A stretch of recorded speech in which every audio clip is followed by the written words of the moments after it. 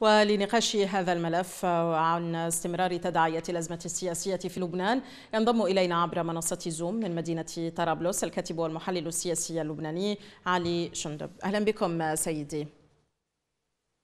أهلا وسهلا مرحبا.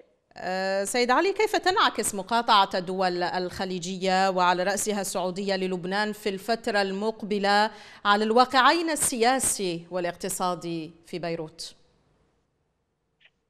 بدون شك لبنان يمر ب يعني معمودية إذا صح التعبير غير مسبوقة. هو فجأة آه، وجد نفسه آه، بين فكي آه، يعني كماشة. إذا صح التعبير التغول الإيراني من جهة والانكفاء السعودي والخليجي من جهة أخرى.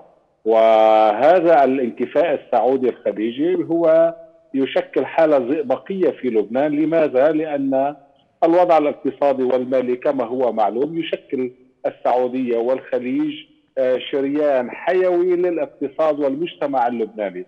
هذا فضلا عن العلاقة الروحية كون السعودية بما تمثل من قيم روحية إسلامية هي قبلة المسلمين على آه، الكوكب الأرضي قاطبة ومن الناحية آه، كعرب يعني المسائل الحقيقة مسائل مسائل مختلفة لكن آه، اللبنانيون اليوم يعني غالبيتهم يعتقدون بأنهم يدفعون ثمن آه، تغول إيران وحزب الله على المنظومة السياسية الحاكمة في البلاد وهذا الأمر أدى إلى أن السعودية شعرت بأنها تتعامل آه، ليس مع كيانات ومؤسسات لبنانية إنما مع كيانات آه، أخرى تدار من من من أمام الستارة ومن خلفها اسمها إيران.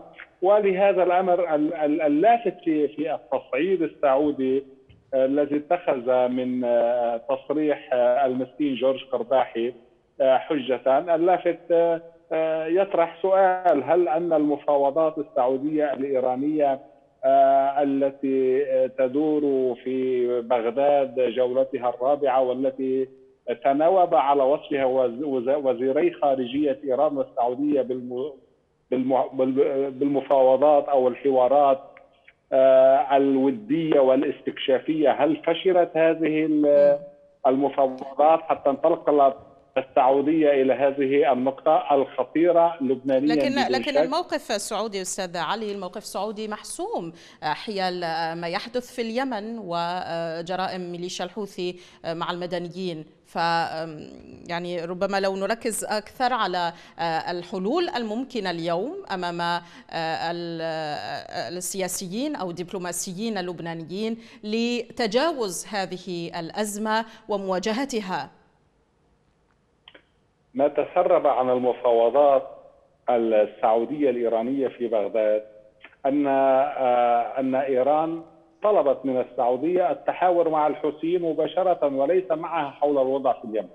وأيضا آه، يقول آه، مصادر مقربة من حزب الله تقول بأن إيران الوفد المفاوض الإيراني أبلغ السعوديين بأن عليهم بخصوص لبنان التكلم مباشرة مع حزب الله.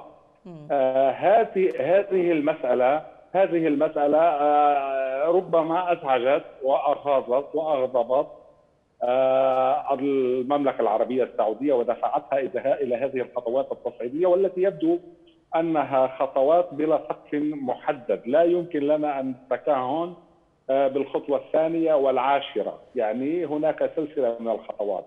أما الموقف الدبلوماسي والسياسي اللبناني الحكومة اللبنانية فهو يعني موقف الحاجز عن فعل أي شيء فهو آه، من من جهة آه، هناك شريك آه، مكون أساسي صانع السلطات في لبنان والمهيمن عليها اسمه حزب الله. ومن جهة أخرى هناك السعودية الأب الروحي حاليا للعرب والمسلمين إذا صح التعبير.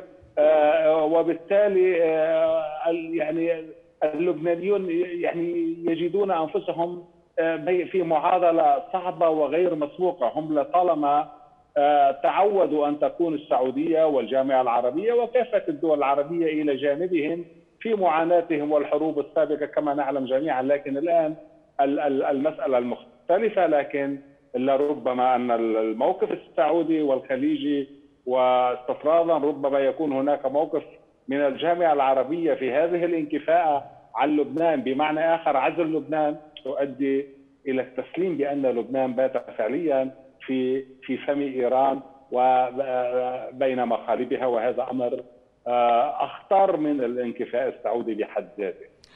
هل هذا يمهد لتغيرات أو تغيرات آه، جيوسياسية آه، واستراتيجية في المنطقة في الأسابيع المقبلة؟ بدون شك يعني أنا أقول اليوم كان لي مقال بعنوان سحب السفراء وسقطات ميقاتي وماكرون. الذي حصل هو التالي أن ماكرون اتفق مع إبراهيم رئيسي على تشكيل حكومة لبنان برئاسة نجيب ميقاتي. وهذا الاتفاق تم من وراء ظهر السعودية التي لم يؤخذ رأيها لا من قريب ولا من بعيد. في عملية تشكيل الحكومة وبالتالي كانت المعادلة الراعيه للطائفة السعودية وسوريا ركنين عربيين أساسيين فيها. اليوم الطرف الغربي ممثلا بفرنسا بضوء أخضر أمريكي مع الطرف الإيراني قرروا ويقررون المشهد اللبناني، هذا الأمر أغضب آه، الجانب السعودي. وهنا المسألة الجوهرية بدون شك وأن السعودية من خلال الإجراء الذي اعتمدته عمليا اطاحت أطاحت بثنائية الحكومة المكريسية أو ماكرون رئيسي وأيضا آه، التي تحاول أن تملأ فراغ آه، الانسحاب الأمريكي آه، في المنطقة خصوصا بعد أفغانستان. والآن الكلام الذي يحصل حول العراق نعم. وسوريا. وبهذا المجال نعم تكون الدبلوماسية السعودية قد سددت ضربة كبيرة. آه، بهذا المعنى إلى التحرك الفرنسي اللاهث وراء استثمارات وعقود نفطية في العراق. نحن نعلم التوقيع الذي آه، وقع مع شركة توتال 37 مليار تقريبا وأيضا هي تلهث وراء آه، فرنسا تلهث وراء آه، استثمارات نفطية أخرى في جنوب لبنان مفتاح الحل والربط والتوقيع فيها بيد إيران. نعم. هكذا يعتقد هكذا يعتقد ماكرون. بعد إخفاقاته المتكررة في ليبيا وفي شرق المتوسط وفي دول الساحل والصحراء الأفريقية من